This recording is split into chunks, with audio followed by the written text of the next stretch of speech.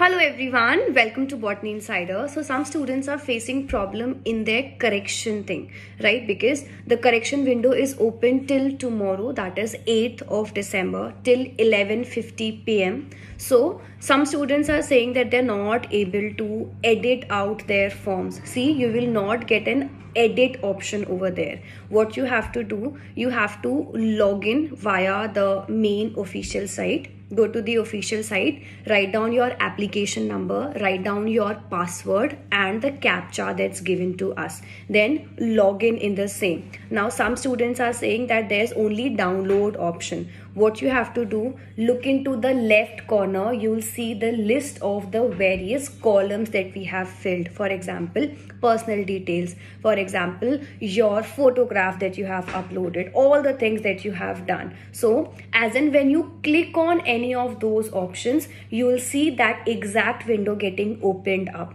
Read all the things cross verify whether you have not made any mistake or not. If there's any change that over there and then scroll down to click on save and next. So in any of the format if you have made any mistake you can change your particulars over there. You will not find the edit option. I am repeating it again. This is the process in which you have to do it. I'll keep a screenshot of the same also on the screen. Check that and you will understand what i am saying about. So so go to the official site right now and get your form edited in this particular format. It is not a difficult thing. Just go to the official site follow these steps and then you'll be able to edit out the entire form of yours. If you have made any mistake, you'll be able to rectify it. This is a short, quick update for you all go to the official site and get your work done. All the best. Good luck. Take care everyone.